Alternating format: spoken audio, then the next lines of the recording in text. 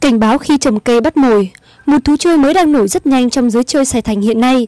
Những loại cây có hình thù kỳ quái, giới dân chơi gọi là cây ăn thịt, đang được nhiều người dân săn lùng giáo giết.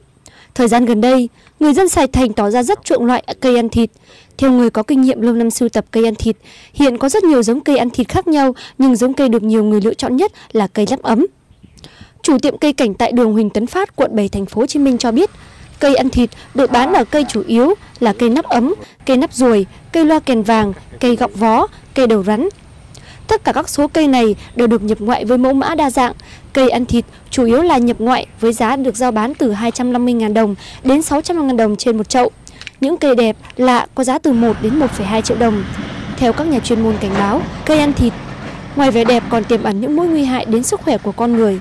Theo Phó Giáo sư Tiến sĩ Đinh Duy Khánh, Viện Công nghệ Sinh học Liên hiệp các hội khoa học kỹ thuật Việt Nam cho biết, không giống như động vật, cây cối có thể tự tạo ra thức ăn cho mình, chúng đầy carbon, dioxide từ không khí, nước ngầm dưới đất, ánh sáng quang hợp từ mặt trời. Tuy nhiên, ngoài những đó, khoáng chất cũng được cần thiết cho sự phát triển của cây. Có một vài loài cây kháng chất bằng cách trở thành cây ăn thịt, chúng không lấy khoáng chất từ đất, mà bằng cách bẫy và ăn thịt con vật. Phần lớn nạn nhân của cây ăn thịt là con trùng có hại. Cây lấy đất dinh dưỡng từ những xác con vật. Cây ăn thịt chỉ có tính năng ăn côn trùng. Thông thường, cây quang hợp hít khí carbon, thải oxy, nhưng đối với cây ăn thịt thì lại khác. Trong quá trình tiêu hóa con vật, cây sẽ thải ra một số chất có hại. Những chất đó dùng để tiêu hóa con vật mà cây ăn thịt nên cần oxy. Vì thế, lượng oxy thải ra không nhiều như cây thực vật, quang hợp bình thường. Chất mà cây ăn thịt thải ra trong quá trình tiêu hóa tùy theo từng loại côn trùng mà nó ăn vào, có cả chất lạ, trong đó có chất độc hại cho con người. Tùy từng cơ địa của mỗi người mà có thể bị dị ứng hay không khi tiếp xúc với những loại hóa chất đó. Tuy nhiên, trong quá trình tiêu hóa côn trùng, tùy loại cây sẽ thải ra một số các chất gây ảnh hưởng đến môi trường, nhất là khi để trong nhà. Có mùi hương, cơ địa của từng người dễ bị dị ứng với các loại hương lạ.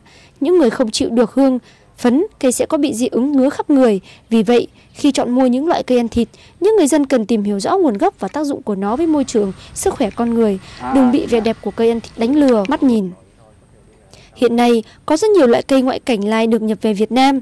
Cũng có nhiều loại cây, sinh vật gây có hại cho môi trường.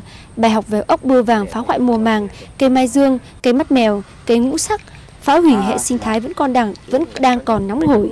Sự kiểm tra ngặt nghèo của các cơ quan chức năng.